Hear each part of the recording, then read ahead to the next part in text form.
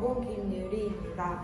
어, 저는 어, 고등학교 때 경품 판타지라는 프로그램을 통해 서동에 한번 들렸었고 어, 그렇게 해서 서동에 들어오는 거를 어, 목표로 잡고 했는데 들어오게 되었어요.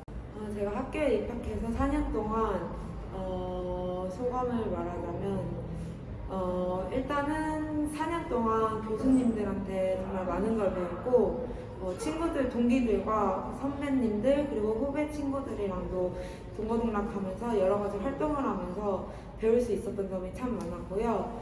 음, 학교에 활동할 수 있는 것들이 많아서 그거를 활동하면서 이제 하나하나씩 배우면서 이제 뭔가를 할 수 있는 단계가 된 것 같고 그리고 졸업을 앞뒀는데요. 졸업을 앞둔 소감은 음, 4년 동안 학교를 다니면서 많이 힘들고 너무 놀고 싶었지만 막상 졸업을 하려니까 학교가 아쉽고 그러네요.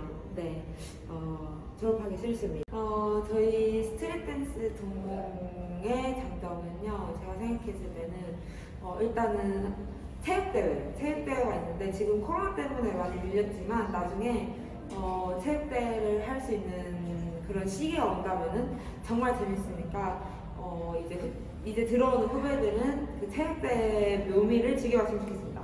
그리고 저희는 창작 발표회, 정기 발표회를 하는데요. 그걸 준비하면서 후배님들 그리고 선배님들 동기들과 더 많이 수 있고 그리고 다른 장르를 여러 가지 하면서 내가 안 하는 전공의 장르들을 많이 배움으로써 어, 되게 많은 폭이 넓게 춤을 출 수 있는 것 같아서 저는 좋다고 생각합니다.